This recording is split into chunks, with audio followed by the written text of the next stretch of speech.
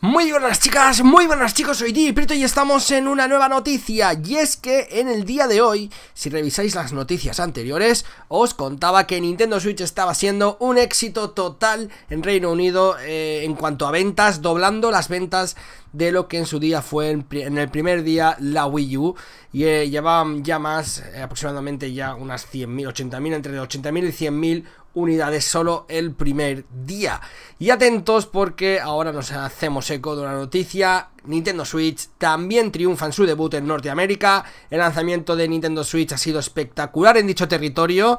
Así lo ha querido hacer eh, saber Eric Bright, director senior de GameStop, quien ha comentado que eh, ha sido uno de los mejores y más fuertes lanzamientos de consolas para GameStop en los últimos años. Una de las franquicias más importantes en Estados Unidos. Para aquellos fans que quieran hacerse también con una Nintendo Switch y de momento no se pueden comprar una porque está agotada. Dicen que no tienen por qué preocuparse porque recibirán más unidades pronto. También ha comentado que si la demanda continúa siendo tan sumamente alta durante las próximas semanas, podrán cumplir el objetivo inicial de 2 millones de unidades vendidas en su primer mes en Norteamérica.